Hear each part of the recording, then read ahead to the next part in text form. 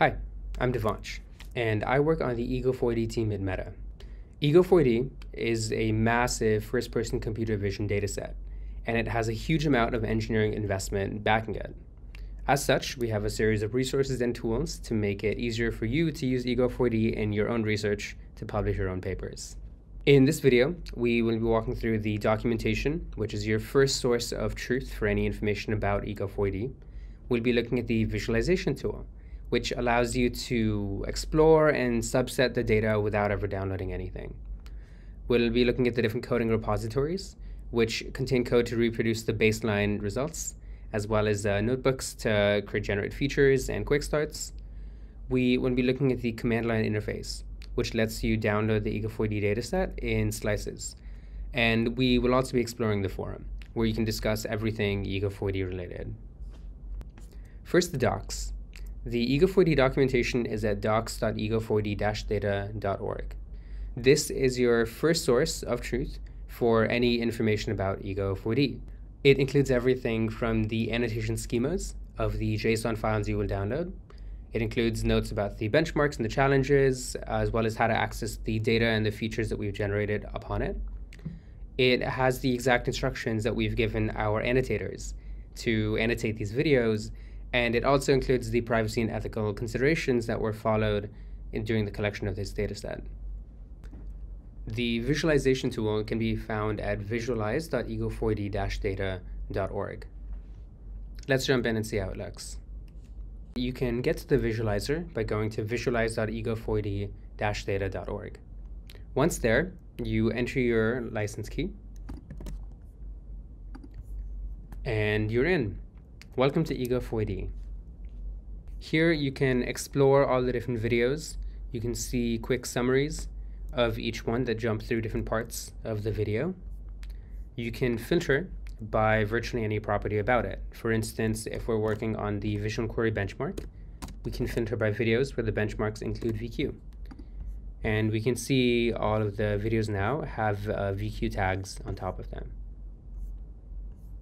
We can also add other filters, for instance, benchmarks that include VQ but also are part of the cooking scenario.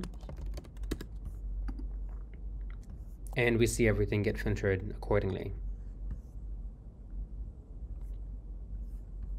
We can also analyze the statistics of any subset that we've picked. In this case, uh, we have the slow fast feature embeddings visualized in a t-SNE space. And we can look through them this way. We can also see stats on the devices and the benchmarks of the videos in our subset. Now, if we remove the, these filters, we see that we now have information on the entire dataset. The visualizer also allows you to semantically search for individual frames inside of videos. For instance, let's say we want to find videos where people are cooking, but they're also working with tomatoes in some way.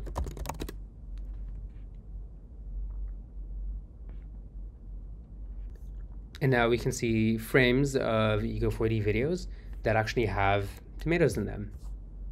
We can search for something like peeling a carrot.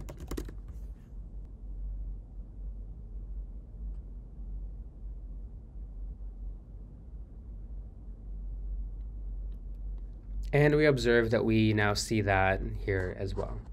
Now, this is semantic search, so you can search for any phrase that you might be interested in. Once you find the subset of videos that you like, you can go up here to download them.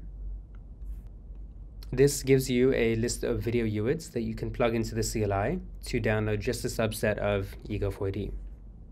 Aside from filtering and semantic search, you can also paste in a list of video UIDs, like this one, and see just those videos um, popped in over here for your analysis.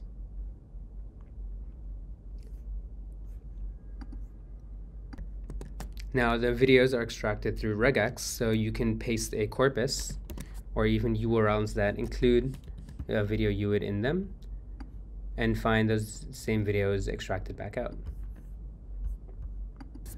Now let's find a video that has a lot of annotations on top of it. We can filter by benchmarks that include moments and also include FHO hands and also include Vision Query. And then search for carpentry. This one looks good. Once you click into the video, you can see more information about it, including the different benchmark splits that it's a part of, and the number of frames in the video itself. We can also see all of the different annotations visualized down here below. And all of this is fully interactable. So for moments, each of these segments are segments that we can click on. And it'll jump to that appropriate spot in the video. The same applies to visual queries, where we can see the bounding boxes overlaid on top of the video. Now, the annotations listed on the side are also clickable. Any annotation that refers to a frame or a time is clickable and interactable and will jump to that spot in the video. So for instance, with the lawnmower, we can jump to the visual crop frame and see the bounding box around it. We can also go to the response track and then go frame by frame as we see the bounding boxes change and shift.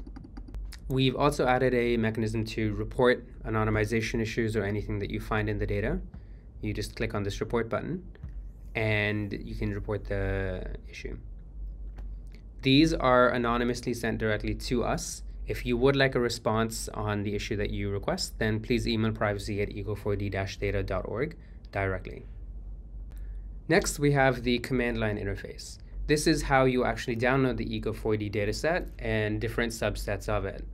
So you can get it by running pip install ego4d. You will also need to configure the AWS CLI using AWS configure and load in the license key that you got in a previous step.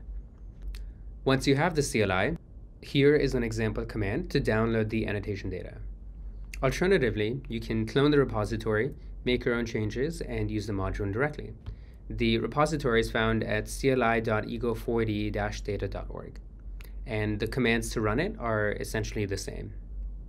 Here is another set of commands that you can use to download the data using the CLI you can see that we have flags for picking specific data sets, like a 540 short side version of all of the videos that have been downscaled, or downloading the features generated on the videos.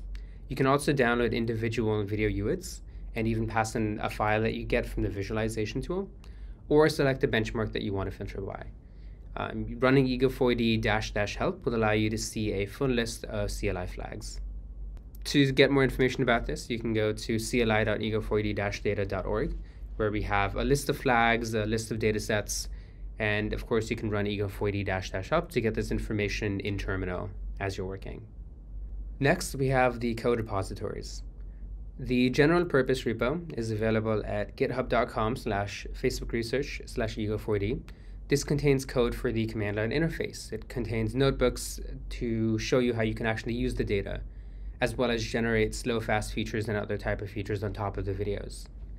The benchmark repos are all under the Ego4D organization, and that organization includes code to reproduce the different baselines. We also have a forum. You can find it at discuss.ego4d-data.org. The forum is where we will keep on pumping out information and announcements and notices, um, things like updates on the challenges or new feature releases that we've put together. It's also a wonderful spot for you to post your own questions or your own topics that you'd like to discuss. Ego 4D is a dataset that will continue to evolve over time. Our team, as well as other researchers out there, continue to add more annotations on top of the Ego 4D videos, making it denser and more precise.